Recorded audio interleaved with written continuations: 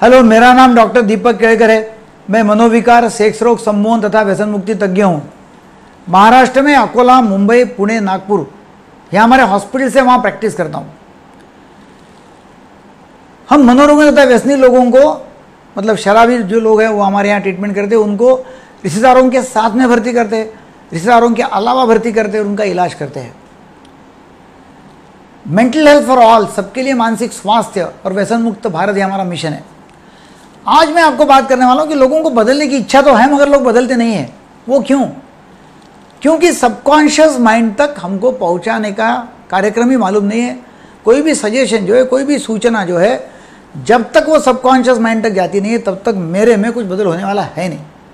मैंने कितना भी कॉन्शियस माइंड से कुछ भी ठहरा लिया, फिर वो ठहराना ऐसा हो कि सुबह उठ के मैं एक्सरसाइज करूँगा, सुबह उठ के मैं पढ़ाई करूँगा, या कल से मीठा खाना बंद करूँगा या कल कल से डाइटिंग करूँगा एक्सरसाइज करूँगा, वज़न कम करूँगा सिगरेट छोड़ूँगा, शराब छोड़ूँगा, जो भी आपने ठहरा है पढ़ाई करूँगा, जो भी आपने ठहरा है, हम ठहराते तो ज़रूर है, मगर कल, परसों, रात गई, बात गई, ऐसा होता है क्योंकि सबकॉन्शियस माइंड में उसकी भूख नहीं है।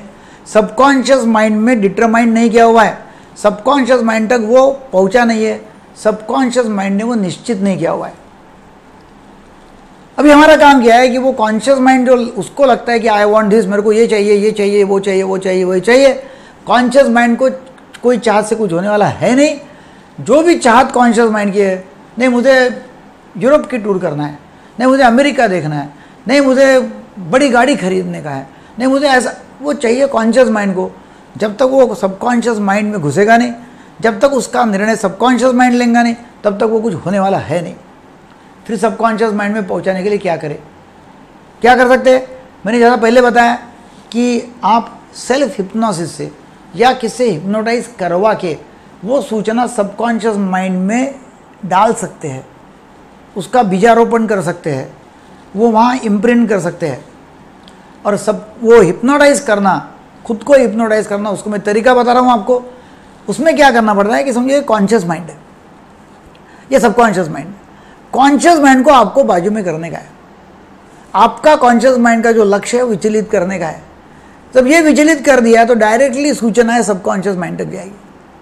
अब उसके लिए क्या करना है? उसके लिए आप एक चेयर पे बैठ रहे रिलैक्स होके बैठ रहे कंप्लीटली रिलैक्स्ड फ़ोन फान सब बंद है टीवी बंद है, कोई डिस्टर्ब करने वाला नहीं, कोई इंटरप्शंस नहीं, कोई डिस्ट्रैक्शंस नहीं है, कोई आपको बुलाने वाला नहीं है, एकदम साइलेंट प्लेस है। इसी चेयर पे बैठे हुए, आपको घर का कोई व्यक्ति डिस्टर्ब करने वाला है नहीं है।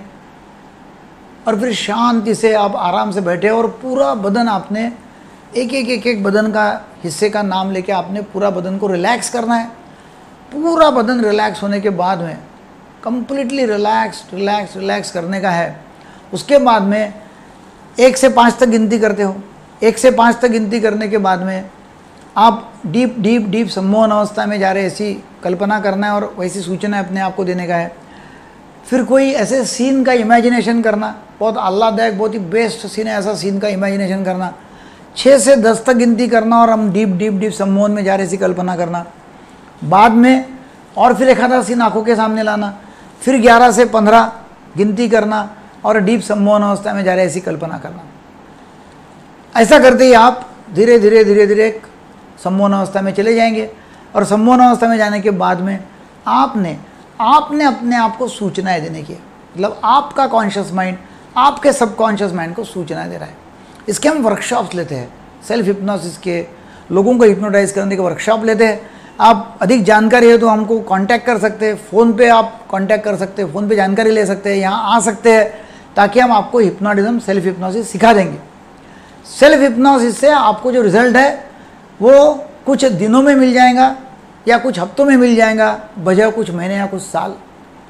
हिप्नोसिस में सूचनाएँ हम अंतर्मन को देते हैं और उसके साथ साथ विजुअलाइजेशन का भी ट्रेनिंग देते हैं।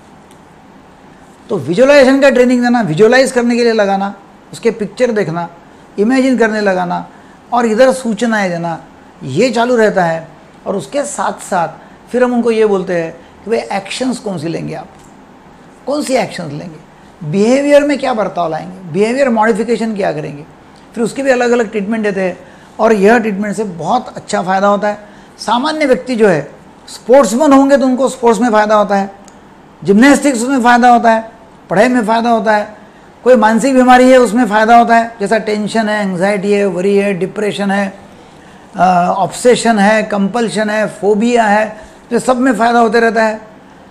लोग काफ़ी काम उसमें कर सकते हैं हिप्नोटाइज होके। मतलब जैसे पैशनेट हो सकते कोई भी काम में।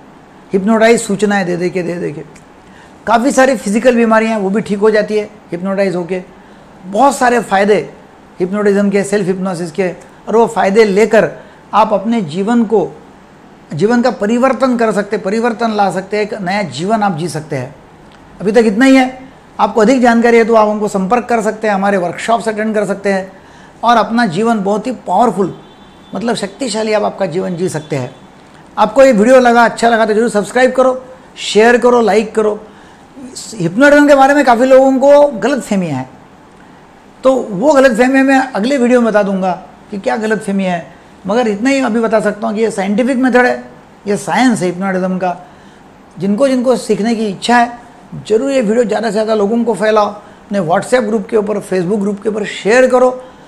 आपको अच्छा लगा तो ज़रूर लाइक करो और thanks for watching thank you very much